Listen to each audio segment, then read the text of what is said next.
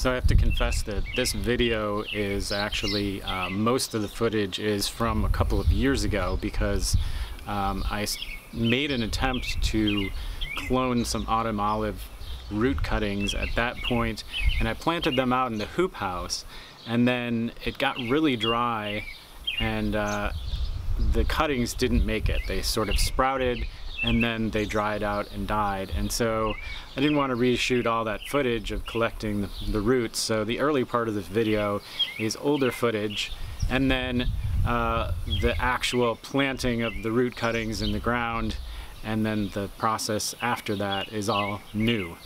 So I just wanted to give that little explanation. But now let's start the video. As you can see from my amaryllis, uh, it is spring. Well, it's not quite spring, it's late winter, but it's a great time to go out on the land and collect some root cuttings of autumn olive. Um, continuing my series on unusual fruits, I'm trying to increase my plantings of unusual fruits. And uh, so we're gonna go out and get some clones of autumn olive.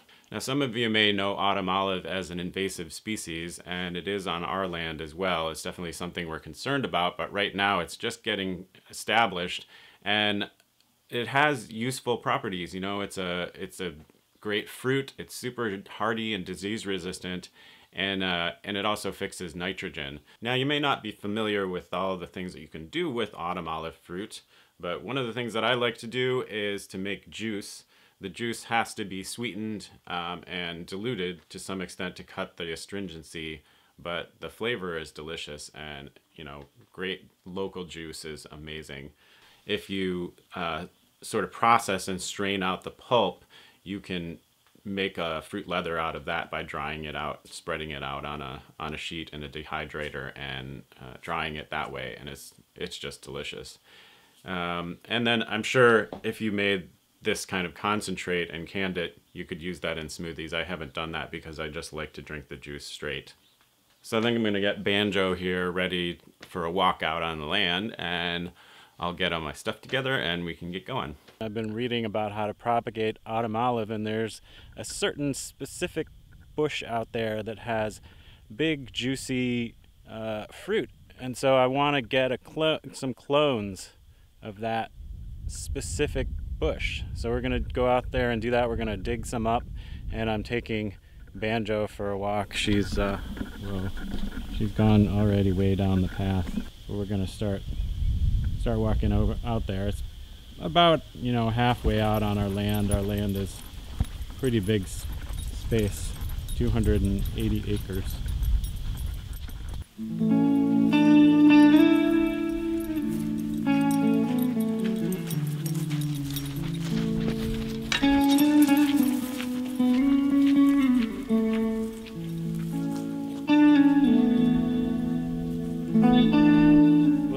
March and I've made it out here onto our land, pretty far out on the land.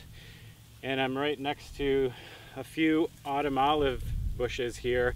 And this one in particular, every year it's just loaded with fruit. It's bright red, juicy, big, and there's a lot of autumn olives in this area and on our land, and I don't know of any that produces as good a fruit as this one does. And that's why I'm choosing this one to take some root cuttings from, which is what I'm going to be doing today. That is what I've read in the uh, Uncommon Fruits for Every Garden book is the way to propagate autumn olive. And so I want to make clones. I want to make a bunch of baby bushes of this exact same genetic heritage. And now it's just going to be a matter of finding some roots under here that are specifically this bushes, roots. Could be a challenge.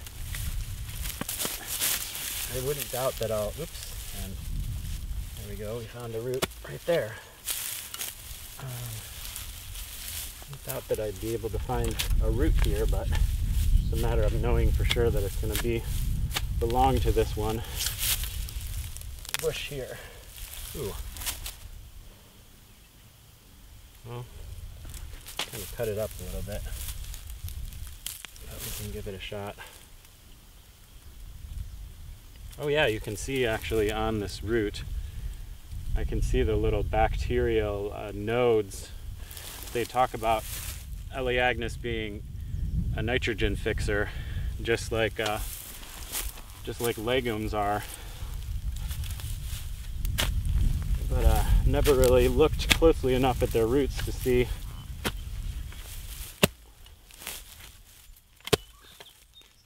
to see the nodes.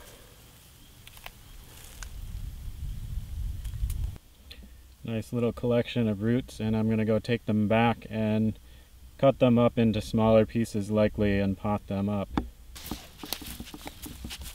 Andrew's hot on the trail of a bunny. I think she actually found a little bunny nest in there. Okay, so let's see what we ended up with from our expedition to gather roots.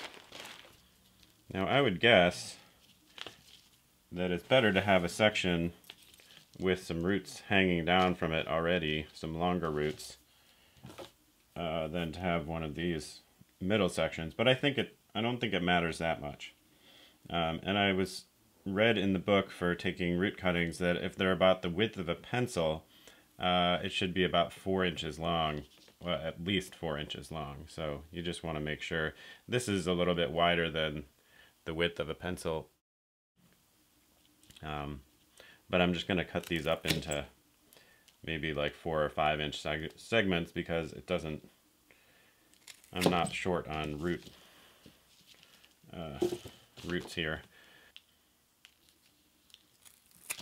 The roots are pretty amazing because uh, they're just completely different than other parts of the plant because they're made to be in soil. So if you put them these back in soil, um, they have the potential to grow into new plants.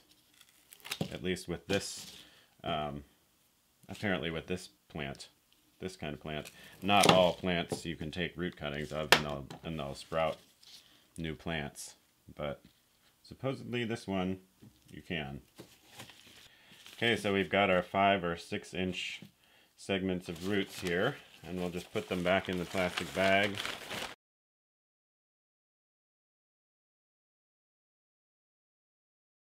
This time, instead of planting the cuttings in the hoop house, I'm planting them outside where water is more reliable. Actually, it hasn't rained for two months, so I'm gonna have to keep watering them. So our root cuttings have been in the fridge for a little bit, and now we're ready to plant them out in the garden. And I've worked up this section of the bed uh, right next to my yellow horn and Siberian beach peas my little perennial plant starting section. And we're just gonna bury these in the ground, obviously try to get any extra roots that are hanging off of them buried as well. And I would say just bury them a couple of inches deep. And at this point you don't have to be too worried about planting them close together because we're going to eventually dig them up and replant them somewhere else, but this is just our little nursery bed to get them going.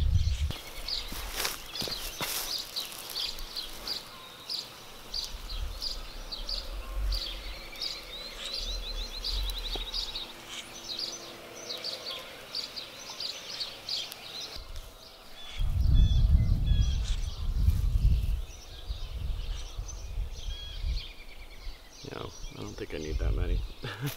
sure it's buried. Okay. So now we've got our root cuttings in and we'll just wait and see what happens to them.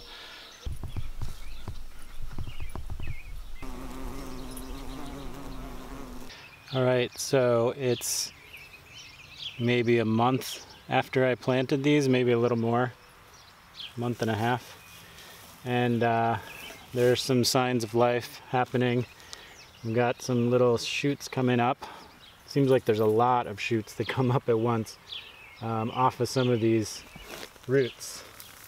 And I don't really see any other ones yet. Looks like if we can keep these things going and they continue to um, strengthen these shoots, then uh, we'll probably have been successful with our uh, with our autumn olive cuttings, root cuttings, and uh, I'll come back and show you them when they're a little bit bigger than this. For now, it looks like we've got some success. Okay, so one last little update on the autumn olives. You can see that little bush is getting going, and there's another one over here. And you know, these things seem to be really susceptible to disease at this time. And I don't know, I mean, they're sprouting, but there was one right here that started going, and that has since then just shriveled up and died.